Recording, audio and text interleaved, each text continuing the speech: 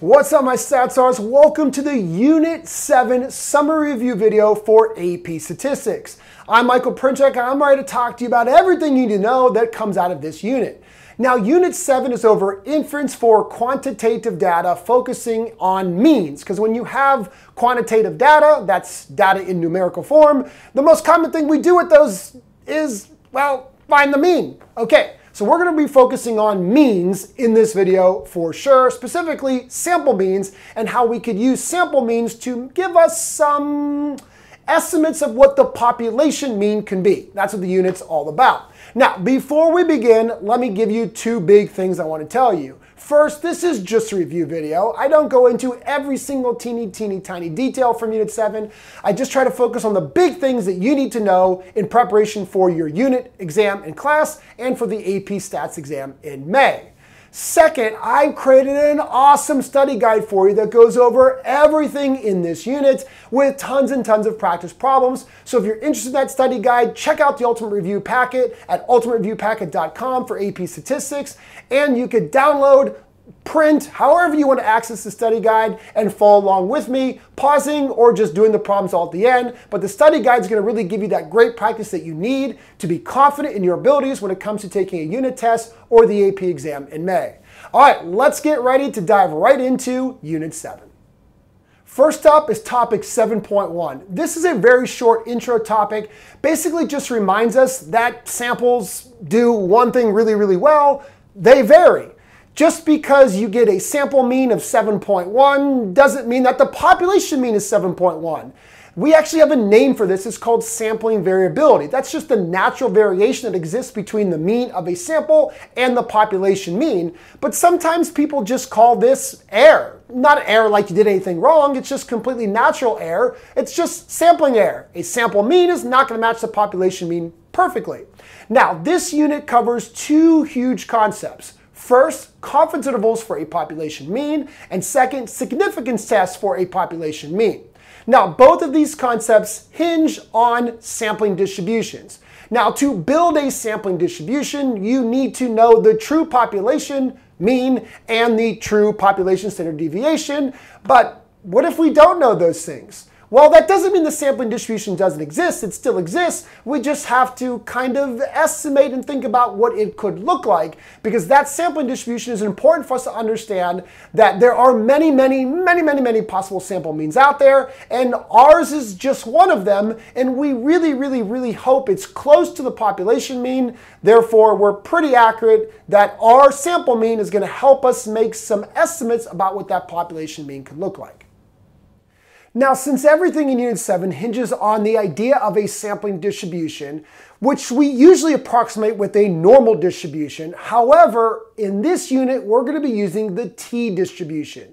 Now, the biggest reason for this is that when we are using a sample standard deviation S as an approximation for the standard deviation of the population sigma, the t distribution is just, well, better. It's a little bit more accurate.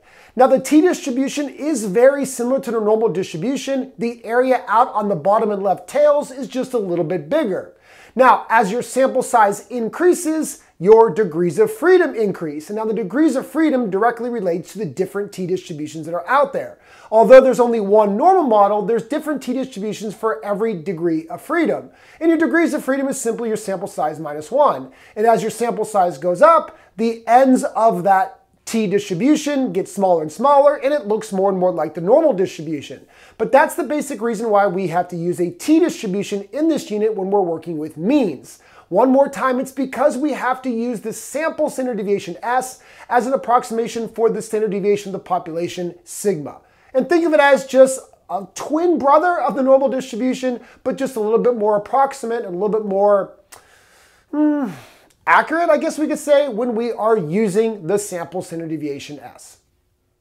So topics 7.2 and 7.3 are all focused on constructing a confidence interval to find a population mean. First, let's talk about how to actually construct this confidence interval. It's a four-step process. Let's talk about step one. Step one is naming the test. It's a one sample t interval for a population mean, but then you want to give some context as to what that population mean you're trying to find is. Step two is checking the conditions to ensure that our sampling distribution can be constructed. Condition number one, of course, samples gotta be random to avoid bias. Condition number two, the size of our sample needs to be less than 10% of the population so we can assume independence. And condition three is that our sample needs to be big enough. Now we are gonna be using that t-distribution that I mentioned, but we still need to be big enough. And there's three different ways that a sample could be big enough. First, if the population that the sample was taken from is known to be normal, then any sample size is big enough, even a sample size as small as one.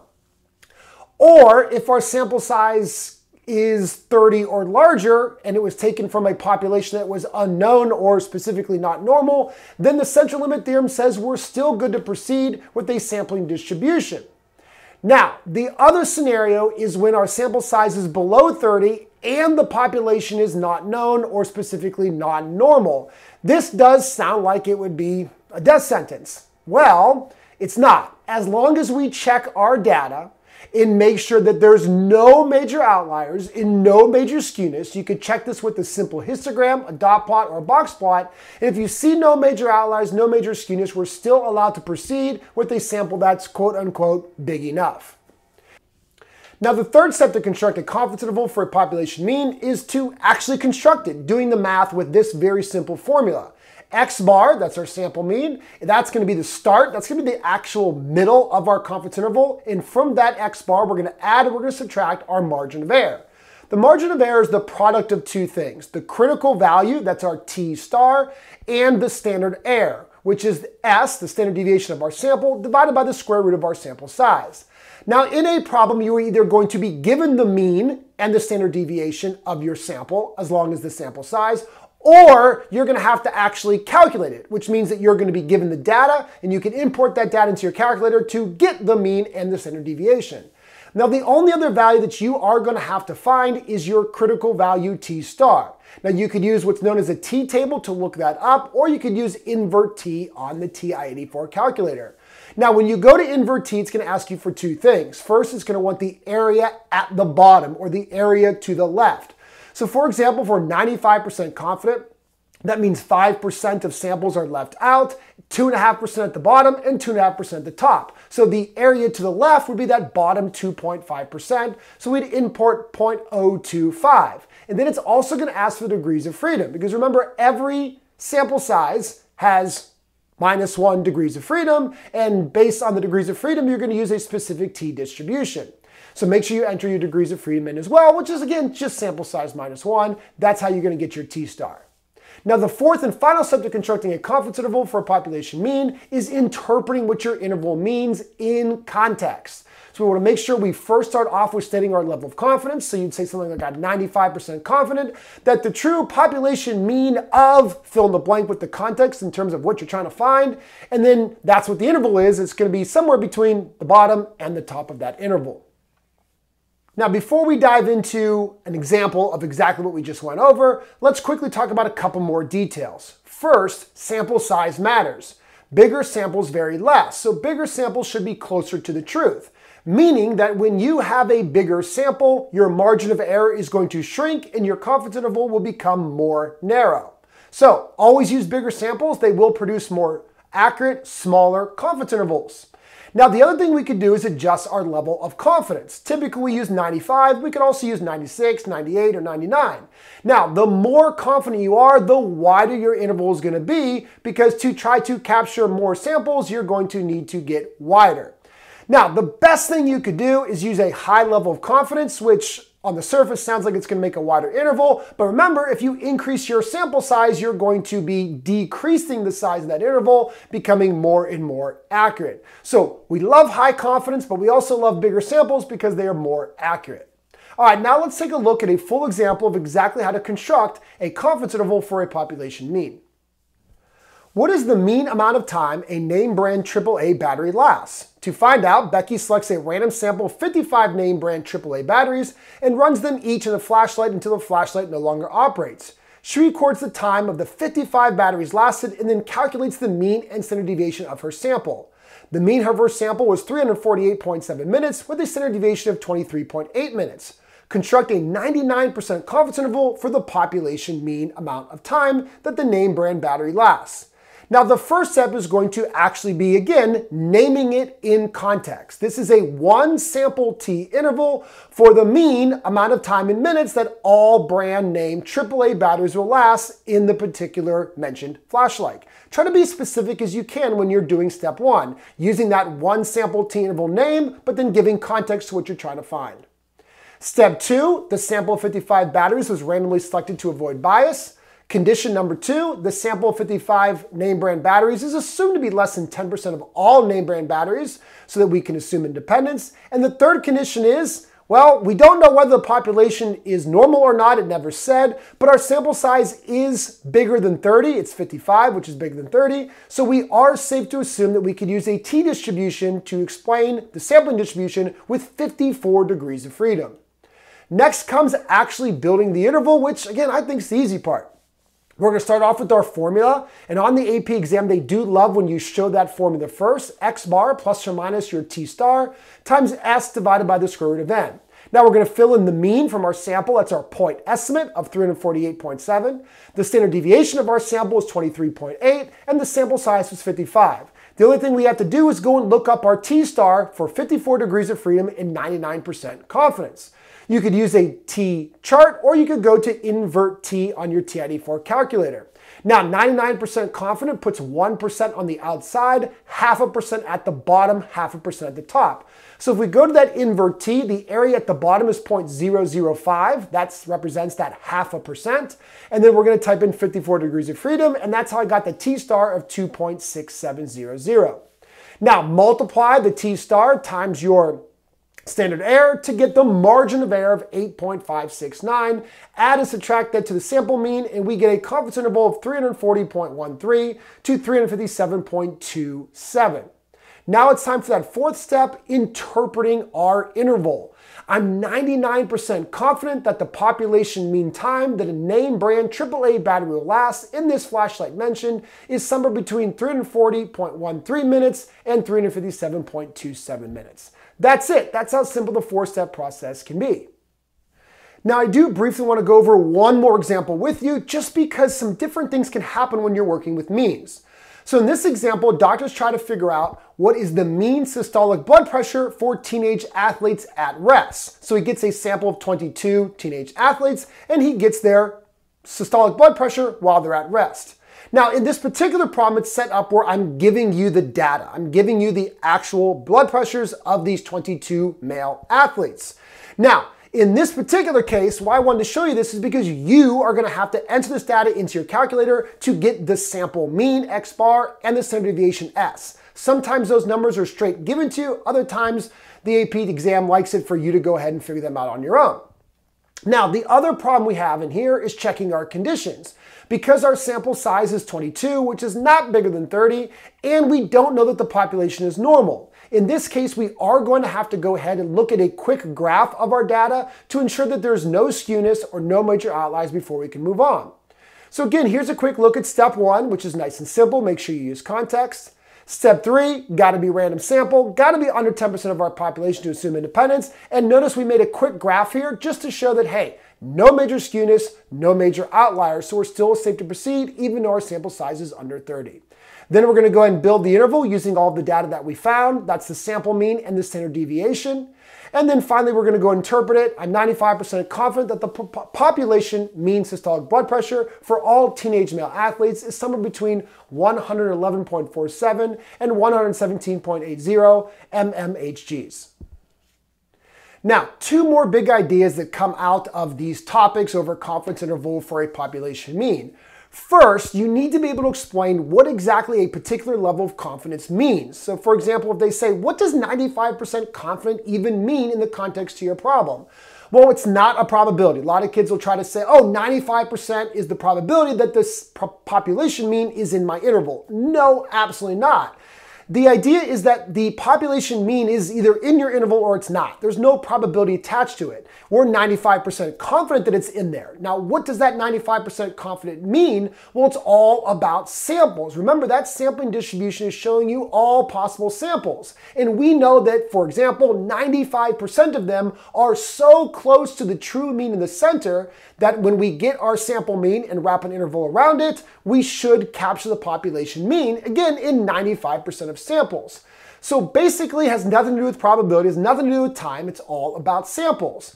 If we look at many, many, many, many, many samples, every sample will produce its own sample mean, and that sample mean would create its own confidence interval. So basically, we're gonna have a lot of confidence intervals because every mean has its own confidence interval. In 95% of all of those confidence intervals will contain the true population mean, and 5% unfortunately will not.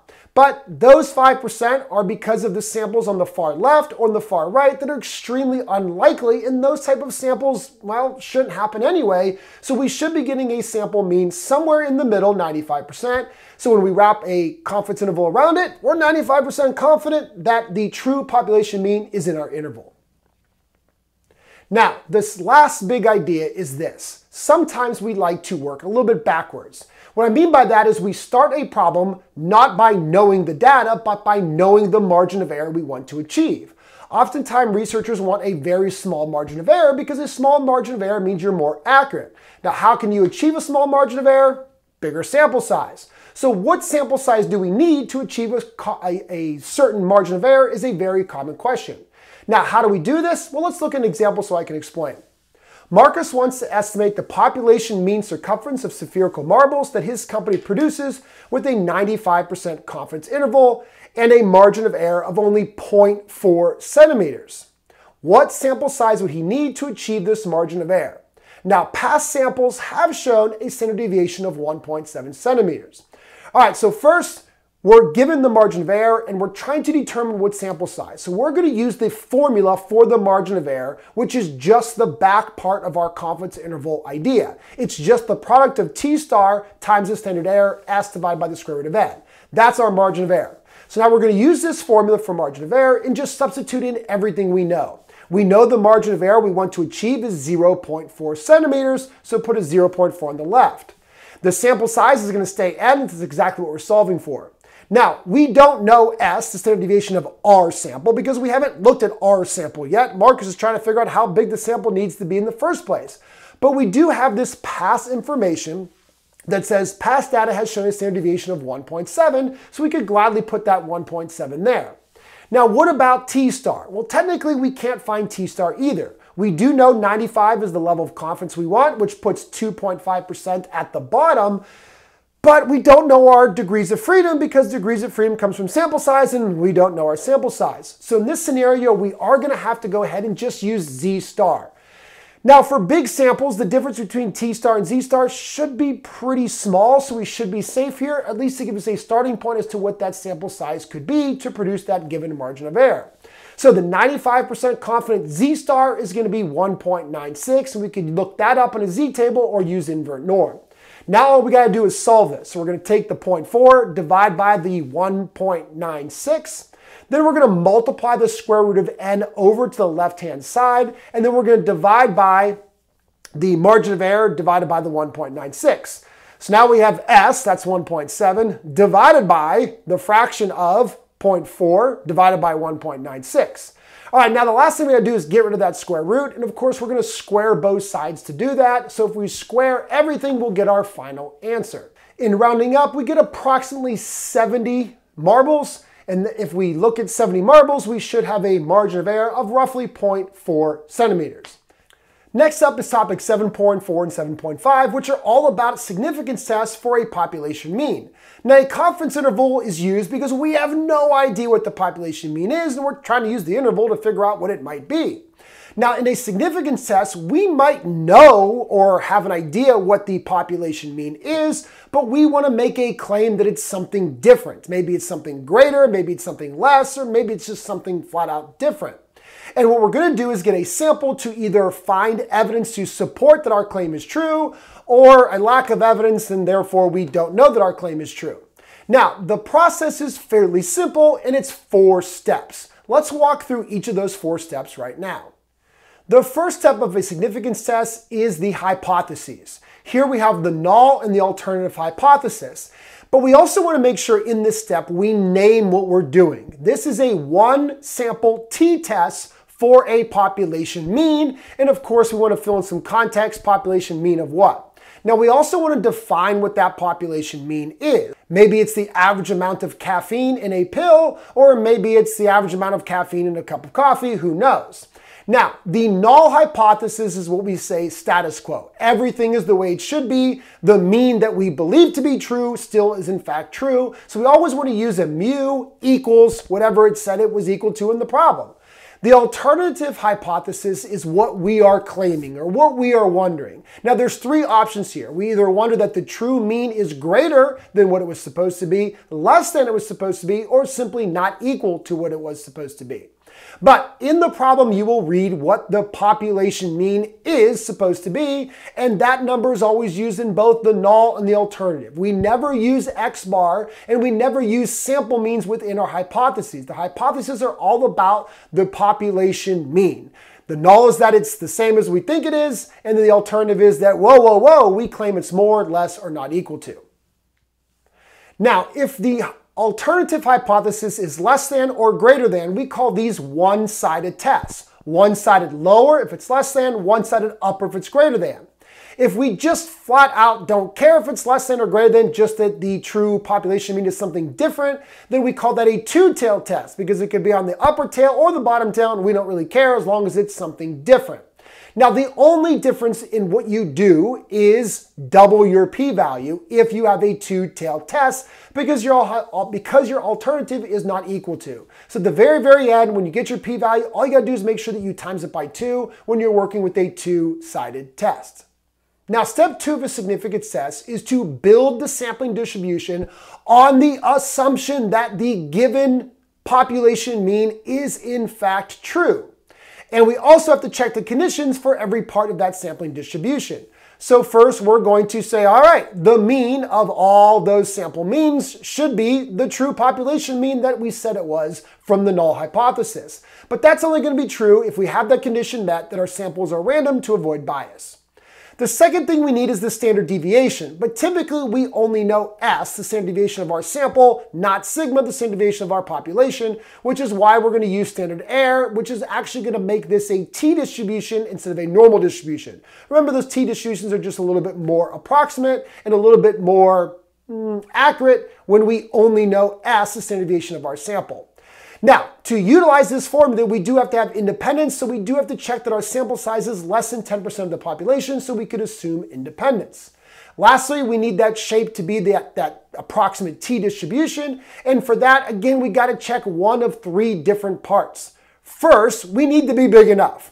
And we can be big enough because the population that we're drawing from is already known to be normal. In that case, any sample size is big enough. Or if our sample size is 30 or over, the central limit theorem says that our sampling distribution is already big enough, so we're good to go. The other scenario that we've already talked about in this video is if your population is unknown and your sample size is under 30, then what we need to do is really check our data very quickly and make sure there's no major skewness and no major outliers, and then we can still proceed. So building that sampling distribution and finding the center, the spread, and the shape is really important in step two of a significance test. All right, the third step of a significance test is to get that p-value. But how do we get that p-value? Well, we got to do a couple things. First, we need our x-bar. We need the mean of our sample. That's either going to be given to us in the problem or we're going to have to calculate it based on some data given to us. Now what we really need to do is locate where that sample mean falls in our sampling distribution that we built back in step two. Now to do that, we're gonna need a t-score. Why not a z-score? Well, remember we're using a t-distribution to represent that sampling distribution, so we're gonna use a t-score but the good news is the formula for a t-score, no different than a z-score. So we're gonna take our sample mean x bar, we're gonna subtract the assumed to be true population mean from our null hypothesis, and we're gonna divide by our standard error, which is s divided by the square root of n. Once we have our t-score, we can figure out our p-value, which is the probability that any other sample mean is more extreme than the one we found, given that the null hypothesis is true. Now, to find that p-value, we're going to use t-CDF, not normal CDF, because we're, again, using the t-distribution. So we go to t-CDF, we're going to choose an upper or a lower value. Now be careful here. Make sure that if you have a positive t-score, we're going to have the lower value be that positive t-score, and then we're going to go as an upper value of 99, acting like infinity, looking way above it. But if we have a negative t-score, we're going to have that be our upper value, and the lower value is going to be negative 99, looking way below. Because when we say the p-value is the probability of our sample mean occurring or more extreme, that means if we're positive, we're even more positive, even higher, even bigger. If we're negative, we're even lower, even more negative. All right, then the other thing you do need to add in there is the degrees of freedom because remember there's a different t-distribution for every different sample size and they're based on the degrees of freedom, simply sample size minus one. That's gonna give you your p-value. And one more time, I really wanna make sure that you know what a p-value is. It is the probability of any other sample mean being more extreme than the one we observed given that the null hypothesis is true, because that's how we built our sampling distribution on that null hypothesis being true. The fourth and final step is giving our conclusion. Now, this is going to go down two paths. If your p-value is below your level of significance for a problem, typically we use 1 or 5%. So if your p-value is less than your level of significance, then that means we are going to reject the null hypothesis and claim that we do have evidence that the alternative is true. Basically what we're saying is that the sample we found was extremely unlikely. And when something extremely unlikely happens, there's got to be a reason why. And that reason is that the population mean we were assuming to be true is wrong, and the alternative hypothesis is correct. Just make sure you say all of that in context. Now, the other path is if our p-value is greater than our level of significance. In this case, we're going to fail to reject the null hypothesis. Don't ever say accept the null hypothesis. We still don't we still don't know that the null hypothesis is in fact true. We just don't have the evidence to say that it's wrong. Basically, our sample was so close to the population mean that we assumed to be true that we can't officially say that gives us evidence that the population mean is, well, wrong. It doesn't mean we're saying it's right. That's why we say we failed to reject the null hypothesis. We just don't know for sure that it's wrong. And make sure again that you say that in context. And well, that's it. Those are the four steps to doing a significance test for a population mean. Let's look at an example real quick. The makers of a popular caffeine pill want to make sure that their caffeine tablets are being made with the proper amount of caffeine in them. Now, when the machine is operating perfectly, there should be a mean amount of 220 milligrams in every tablet. Now, the manager of the plant is concerned that maybe the tablets are being made with too little caffeine, which would kind of be a big problem. So she decides to get a random sample of 35 tablets, find the sample mean and the sample standard deviation, and investigate. Does her data provide significant evidence at the 5% level that the machine is working improperly and that the mean amount of caffeine in the tablets is less than 220 milligrams? Let's walk through the four steps to find out. First, we're going to identify the hypotheses and the name of the test. This is a one sample t-test for the population mean amount of caffeine in these tablets produced by this company. The null hypothesis is that the population mean mu is 220 milligrams. It's not any different than what it should be. The alternative is what we're wondering, and the plant manager wonders that there might be too little caffeine in the pills. So she would have an alternative hypothesis that the population mean mu is less than 220 milligrams. Now, step two is building the sampling distribution and checking all those conditions for it. So first, let's check the conditions. The sample of 35 has to be random to avoid bias. We could assume that 35 tablets is less than 10% of all tablets from the entire company produces to assume independence. And 35 is bigger than 30, so we are safe to use a sampling distribution, but we are gonna have to use a t-distribution with 34 degrees of freedom. Why are we using a t-distribution one more time? Because we do not know the population standard deviation, we only know S, the standard deviation of our sample. Now, the center of this sampling distribution is going to be the mean of all the x bars, and that should be 220 because we have to assume the null hypothesis is true. Now, the standard deviation, well, remember, I can't calculate the standard deviation because I don't know sigma, I only know s, so we're going to have to use standard error. So we're going to take s divided by the square root of our sample size 35. And finally, the shape should be that t-distribution, which looks a lot like the normal distribution. Now, the mean of the sample of 35 tablets was 218 milligrams, and the standard deviation was 3.2. We don't use the sample mean anywhere in step two, but we do need S, the standard deviation of our sample, to get that standard error. So we're gonna take that 3.2 divided by the square root of our sample size 35. Now, for step three, this is where it gets fun. We gotta calculate our p-value. Now, the first thing we gotta do is identify where our sample mean falls within that sampling distribution. So we're gonna take 218, we're gonna subtract the mean that was supposed to be true from the null hypothesis, 220, and we're gonna divide it by that standard error, which is that 3.2 divided by the square root of 35. Now that's gonna give us our t-score that tells us specifically where our mean falls on the model. And that t-score is negative 3.697, which just at a quick look at does seem pretty low. But we do need to find the p-value. Now this is the probability that any other sample mean is more extreme than the one we found, which was 218. So we're gonna find the probability that an x bar is less than 218 milligrams. But that's gonna be the same probability as the area below a t-score of negative 3.697. So to find that area, we're gonna go ahead and use a TCDF. We're gonna look way down, so we're gonna start at a lower value of negative 99 and go to an upper value of negative 3.697. And we do need to type in that 34 degrees of freedom for this very specific t-distribution.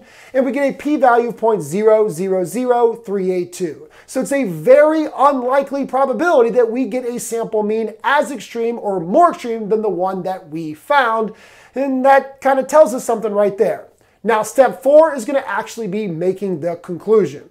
So, because my p-value of 0.000382 is less than my alpha level of 0.05, I will reject the null hypothesis. There is significant evidence that the mean of the population, the mean of all the amount of caffeine in these tablets is less than 220 milligrams. I don't know exactly what the mean is. I just know that my sample says that it's more than likely less than 220 milligrams. So we should shut down production, fix the machines, or else we're going to be producing tablets that don't have the proper amount of caffeine in them.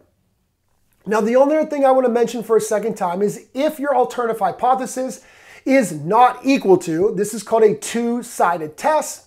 And in this case, whatever we get for our p-value, we're just going to times it by two and then make our conclusion. Hopefully that makes a lot of sense.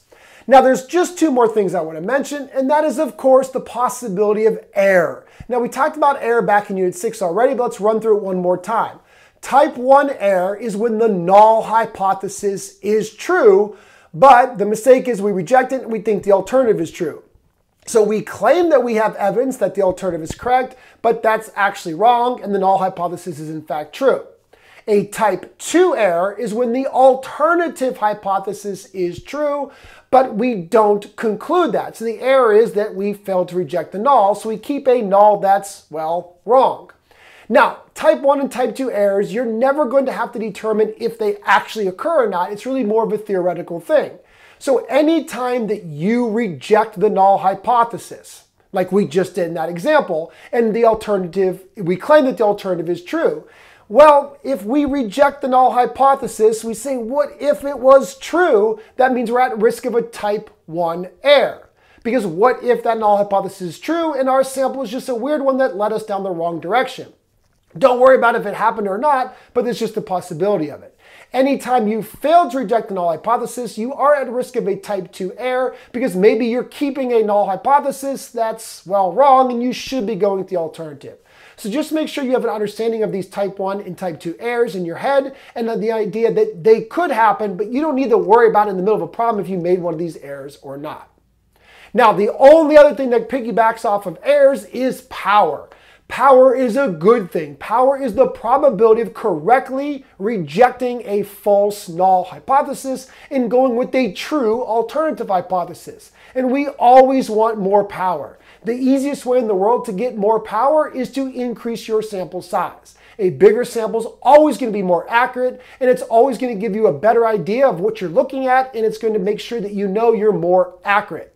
So if you have a bigger sample size, you should be getting a result that's more accurate to the truth. And if the truth is that the alternative is correct, a bigger sample will help us see that so we can go and reject that false null.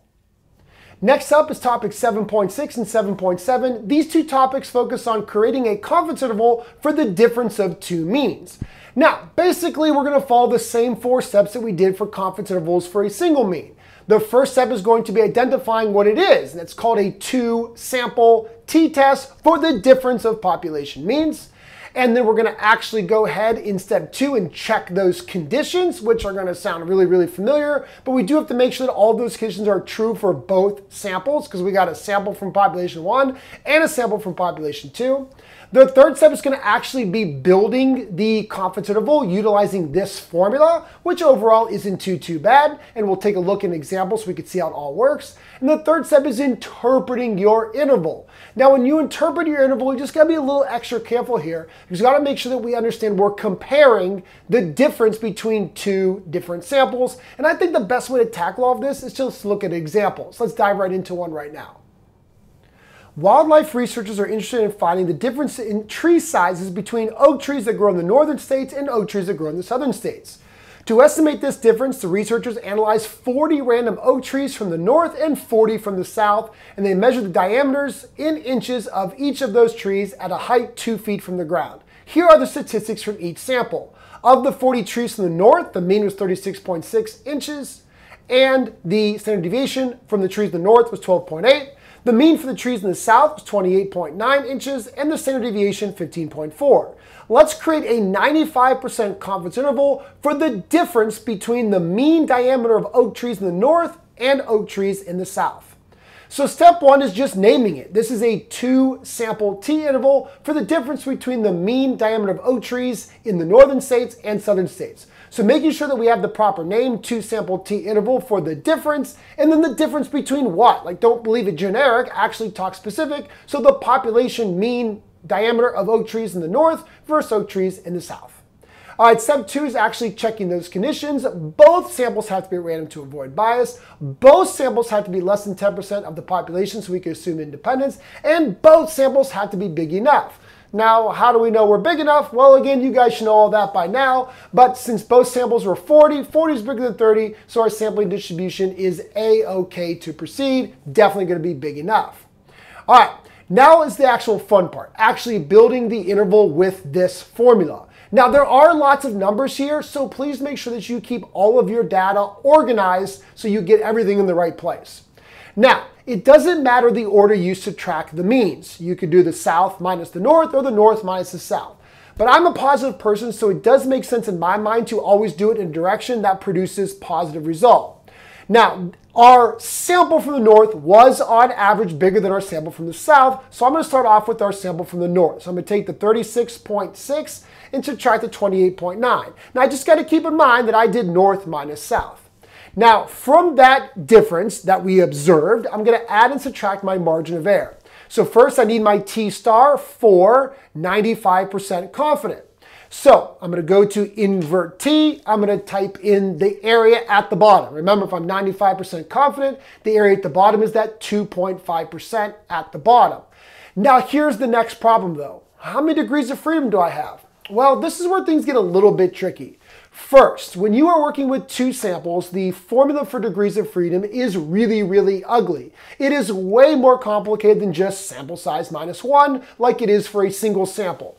So in a lot of cases, we do not use the proper official formula for degrees of freedom for two samples. We do one of two things. Both are fully accepted on the AP exam. One, we could get the degrees of freedom for each sample and use the smaller of the two. So since our sample sizes are both 40, that means both of them have 39 degrees of freedom, and the smaller of them are, well, still 39, so we would use 39 degrees of freedom. The other option that the AP exam does fully recognize as correct is getting the addition of those two degrees of freedom. So taking 39 degrees of freedom from the first sample from the north, 39 degrees of freedom from the second sample from the south, adding those together for your total degrees of freedom. Now, I personally like to use the smaller of the two, but my answer will never be that dramatically different than somebody who adds the two degrees of freedom together. Or if somebody actually uses the official formula for degrees of freedom and is way more accurate than any of us, it's still all going to be close enough that we're going to have a same final result that's not that different. So I'm going to use a T star based on 39 degrees of freedom. And that's how I got the 2.0227. Now for my standard error. Now this is where you got to really make sure you get all your numbers in the right place. For the standard deviation of the north, that was the 12.8 squared divided by 40. Standard deviation from the south, 15.4 squared divided by 40. Add all that variance together inside, then put a giant square root around all that to get my standard error.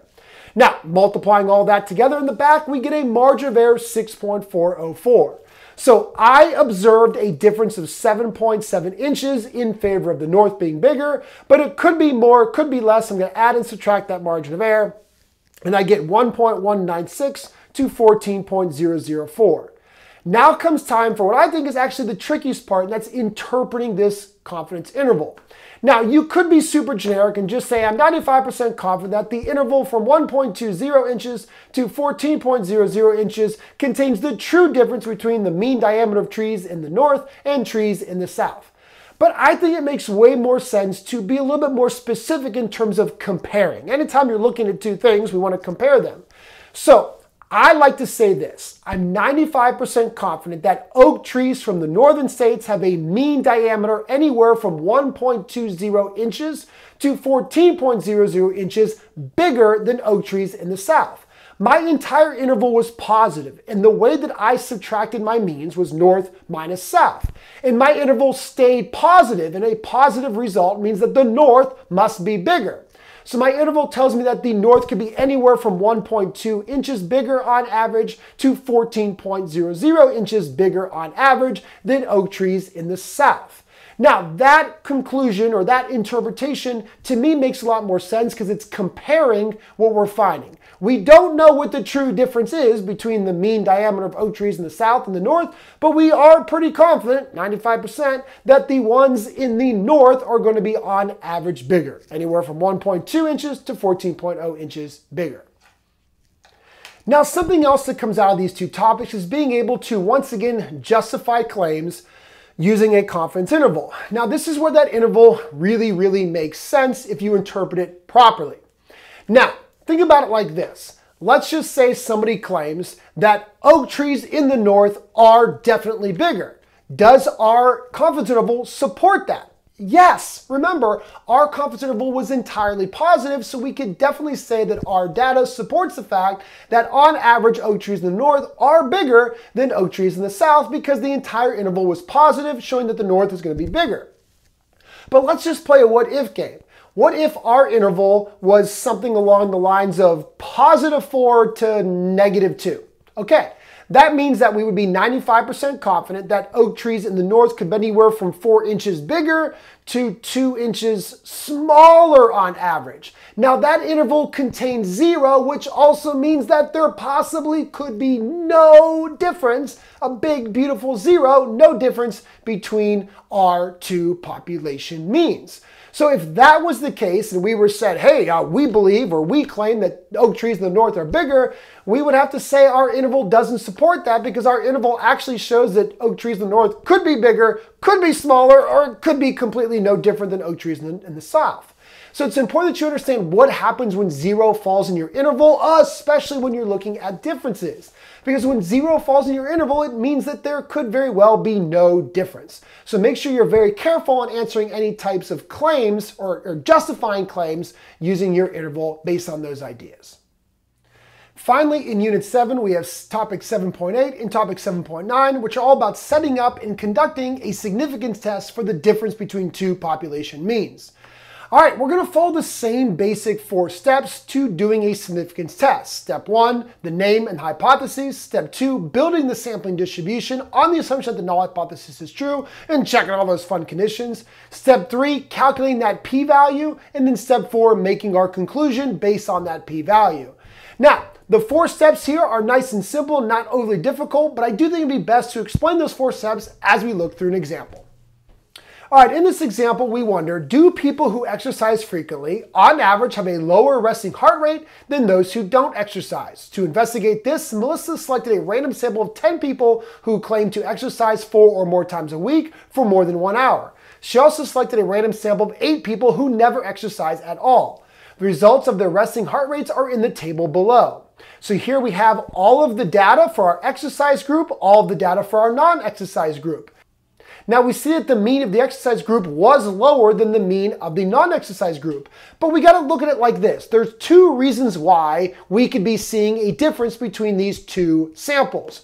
Reason number one, they're just samples. That's what samples do. They vary. It doesn't mean anything. We could do this whole data investigation again and we'd get the exercise group to have a higher average heart rate than the non-exercise group. It's just random because that's what samples do. Or maybe we're on to something. And that it is true that the average resting heart rate of those that exercise is really lower than those that do not. So now we have to investigate which of those two reasons it is. So, does the data provide significant evidence that people who exercise have lower resting heart rates on average than those who do not at the 1% significance level? All right, so step one is naming the test and giving those hypotheses. This is a two sample t-test for the difference between the mean resting heart rate of people that exercise and people who do not. Making sure you give that name in context is really important. Now, our null, our null hypothesis is that the mean for those who exercise is, well, no different than the mean that don't. It's exactly the same. The two population means are the same. The alternative is clearly that we're wondering that the mean for those that exercise is less than the mean for those that don't exercise. Now, in other problems, you might end up be using a greater than sign, or maybe you don't care that one group is higher or lower than the other. You just care that they're different. And you can use a not equal to sign as well. But again, that's where you got to read your problem. All right, step two is actually building that sampling distribution based on the null hypothesis being true and checking all those conditions. So let's check those conditions real quick. Both samples had to be random to avoid bias. Both samples had to be less than 10% of their respective population that they were taking from, so we could assume independence. And, well, we need to be big enough. Now, first glance, both samples are not big enough. 8 and 9, or excuse me, 8 and 10 are not big enough samples. They're not over 30. And we don't know that the populations are normal, or at least it didn't say that. So this is where we'd once again have to make some quick histograms or dot plots or box plots of our two samples of data and make sure there's no major outliers and no major skewness. Now, I will be honest, in problems like this, where there is quite a bit of quite a bit of work and quite a bit of time involved in that work, the AP exam loves giving you that little parentheses that says assume all conditions are met. So if you have that written down in the problem, assume all conditions are met, then it's kind of like a free ticket that you don't have to check all these conditions, which is kind of nice when they do that for you. Now we actually have to build that sampling distribution on the assumption that the null hypothesis is true. So the center of the sampling distribution would be that the mean of all possible sample mean differences is, well, zero. If they're the same, the difference should be zero. Now, the standard deviation is what we'd rather be using, but we can't. We only know the standard deviation S of our samples, so we have to use standard error, which is, of course, why we're going to use a t-distribution here. So the standard error formula for our sample differences is going to be the square root of 7.0309 squared divided by 10. That was the standard deviation for those that do exercise plus 4.9839 squared, that was the standard deviation for those who don't exercise, divided by 8. And we get 2.8369. Now, the other question is how many degrees of freedom do we have? Like I said before, we have two options. We could use the smaller of the two. So one sample has nine degrees of freedom, one sample has seven. So we could use seven degrees of freedom, which is what I'm going to do. Or we could take that nine and that seven, add them together to get 16 degrees of freedom. Gonna have some slight different numbers at the end, especially with your p-value, but it won't be big enough that it'll cause any kind of big mistakes. And the AP exam acknowledges that. All right. Next step is actually locating our observed difference in our model. Now, our observed difference was 60.1 minus 79.625. We observed a difference of 19.525. Now, that's negative. Why is it negative? Well, because I subtracted them with a smaller number minus a bigger number. It actually doesn't matter the order you subtract them as long as you understand what happened. And what happened was that our group that exercises had a lower heart rate on average, lower resting heart rate. So whether you get positive or negative, it doesn't matter. But if you get positive when you go and find your p-value, you want to look above it. Since I got a negative, I want to look below it. As long as you understand that, that's super important. So take that difference, subtract zero, because we assume there was no difference, and we're going to divide by the standard error to get negative 6.8825. And just at first glance, that's a really low t-score. Now we're going to find our p-value, which is the probability that any other difference between a sample from those that exercise minus a sample that don't exercise is less, meaning more extreme than my difference of negative 19.525. Now, like I said, if you subtracted in the other order, you got a positive, you would just be looking greater than because now you're looking for the difference to be bigger because your value was larger, positive. Hopefully that makes sense. Having proper notation for your p-value is really, really important. I can't emphasize that enough. So make sure you understand how I wrote that. P for probability, x bar minus x bar, that's the difference between our two means, is more extreme, less than the observed difference that we had of negative 19.525. Now, to find that, I'm going to go to my sampling distribution and look at the area below that t-score of negative 6.8825. Using TCDF with 7 degrees of freedom, I get a very low probability of 0.0001175. So now I'm going to make my conclusion. Since my p-value 0.0001175 is less than 0.01, I'm going to reject the null hypothesis. I always like to make sure you lead off with the comparison of your p-value to your alpha level. That is a requirement on the AP exam. Now, what does this mean in context? This means that there is significant evidence that the mean resting heart rate of people who exercise regularly is lower than the mean resting heart rate of people that do not exercise. I found out that my difference, the observed difference, wasn't just like a little bit lower. It was really, really big difference, which means I do have significant evidence that I can officially say that the resting heart rate of people that exercise is smaller than the resting heart rate of people that don't. All right, that's it for my unit summary over Unit 7. There is a lot in Unit 7. We got confidence intervals, we got significance tests, we got tons of stuff. And I didn't cover everything, I promise you. I just tried to show you a couple examples of everything. But there's always more examples, and always more examples produce different situations and different scenarios. So please experience more examples through practicing. That's why I really encourage you to get the Ultimate Review Packet so you can get the study guide for Unit 7. It's got tons of practice. You get a practice sheet that's getting got more practice so you can see all the different things that can happen when you follow these steps. But hopefully in this video you learned about the basic steps for confidence intervals and significance tests and how to actually conduct them so you could go and try some on your own. All right, see you guys in the next video.